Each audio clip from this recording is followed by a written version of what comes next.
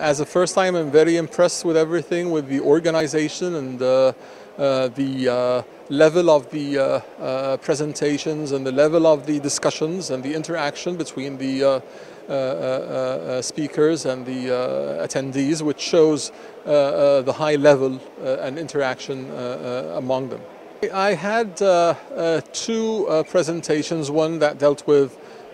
rhinoplasties for uh, our uh, region, the Arabian noses, and the other one was uh, the use of uh, fat grafting in uh, uh, uh, both aesthetic patients and in uh, the reconstructive uh, patients. And uh, there was a lot of interaction and uh, discussions uh, in both uh, of them. And uh, um, because I come from also a different background, being a plastic surgeon, and it's very interesting to see the view of other uh, uh,